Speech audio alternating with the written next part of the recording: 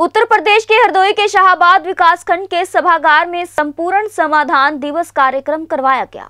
इस दौरान विधायक रजनी तिवारी ने विशेष तौर पर शिरकत की। उन्होंने जनपद स्तरीय अधिकारियों को संबोधित करते हुए कहा कि लोगों की शिकायतों का प्राथमिकता के आधार पर निपटारा हो। वहीं धान खरीद के संबंध में विधायक ने संबंधित विभाग के अधिकारियों से कहा कि मंडी में दूर दराज क्षेत्रों से धान लाने वाले किसानों को धान बेचने में कोई दिक्कत ना आए। इस अवसर पर जिलाधिकारी अविनाश कुमार ने कहा कि गरीबों की पट्टे की भूमि, खेल मैदान आदि सरकारी भूमि पर अवैध कब्जा करने वालों को चिन्हित किया जाए। राजस्व एवं पुलिस विभाग के अधिकारी संयुक्त रूप से टीम बनाकर गाँवों में जाए और भूमि पर अवैध कब्जा करने वाले दबंगों के विरुद्ध एफआईआर दर्ज करवाएँ। साथ ही एंटी भूमाफिया एक्ट के अंतर्गत कड़ी कार्यवाही करे। वहीं जिलाधिकारी ने अधिकारियों को निर्देश दिए कि ग्रामीण क्षेत्रों में होने वाले विकास एवं निर्माण कार्यों को गुणवत्तापूर्वक मानक के अनुरूप समय पर पूर्ण करवाए।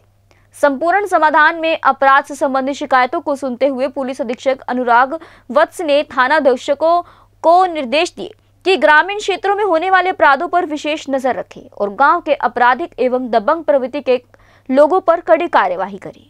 और पुलिस के अधिकारी निरंतर भ्रमशील रहकर अपने अपने क्षेत्र में शांति व्यवस्था बनाए रखें। संपूर्ण समाधान दिवस में मुख्य चिकित्सा अधिकारी डॉक्टर सूर्यमणि त्रिपाठी, डीएफओ राकेश चंद्रा उप जिलाधिकारी शाहबाद, अतुल प्रकाश श्रीवास्तव मौजूद रहे। लेकिन हाँ हमारी ज़िम्मेदारी है कि जहाँ पे हमारे किसान जा रहे हैं, हमारा क्षेत्र का व्यक्ति कहीं पे जा रहा है, वहाँ पे कोई परेशानियाँ हो सकती हैं तो उनकी शिकायत करने से पहले ही हम वहाँ पे पहुँच जाएँ। आज तहसील दिवस था। तहसील दिवस में वहाँ पे हम गए थे। वहाँ पे हमने देखा काफ़ी संख्या में किसान भी वहाँ पे मौजूद था। उनसे पूछा, क्यों यहाँ पे खड़े हो? उन्होंने कहा, हमारा धान वहाँ पे गया है और विधायक जी हमारा कल से है वहाँ पे और जल्दी हो जाए। तो हमको लगा हाँ वाकई में अगर कल से वहाँ पे कोई गया है तो उसका जल्दी हो जाना चाहिए। उनकी समस्या सुन कर के यहाँ पे हम आ गए थे और उनकी बात को हमने मजबूती के साथ रखा। और आज तहसील दिवस में भी जहाँ पे हमारे साथ में जिलाधिकारी भी थे, जिला अधीक्षक थे, पुलिस अधीक्षक थे तो उनसे भी हमने इस चीज़ को कहा था जिलाधिकारी से कि इसके लिए बोल दें अधिकारियों से कि ताकि उन लोगों, जो भी यहाँ पे किसान आए, उसकी तोलाई बहुत जल्दी कर ली जाए, किसी को वापस ना भेजा जाए, किसान यहाँ पे आकर के खुश होकर के जाए उसको उचित मूल्य मिल जाए।